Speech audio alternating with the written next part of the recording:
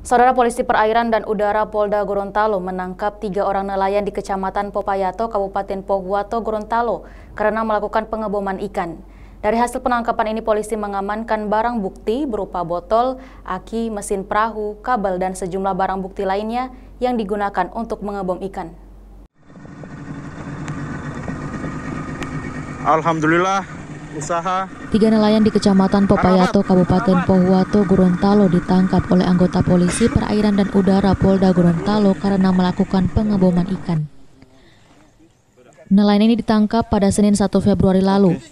Selain menangkap pelaku, polisi juga mengamankan barang bukti berupa botol, aki, mesin perahu, kabel, dan sejumlah barang bukti lainnya yang digunakan untuk mengebom ikan.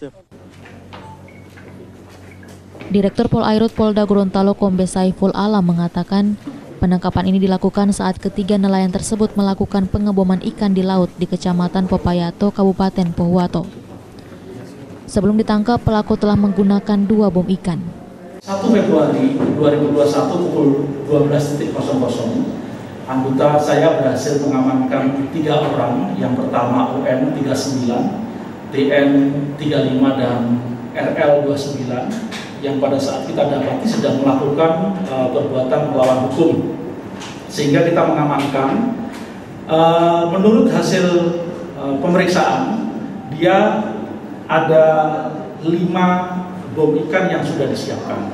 Satu yang sudah diledakkan dua yang sempat dibuang sesaat sebelum penangkapan dan dua lagi yang berhasil kita amankan Barang buktinya itu dan satu aki, satu kabel beberapa meter dan satu kapal.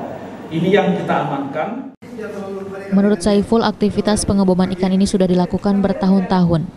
Pasalnya, satu dari tiga pelaku jari tangannya putus diduga akibat terkena bom ikan. Bom ikan dirakit sendiri oleh pelaku dengan menggunakan bahan peledak tradisional.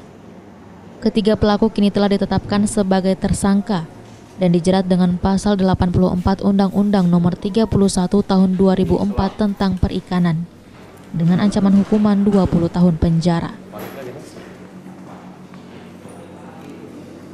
Muhammad Kaida, Kompas TV Gorontalo.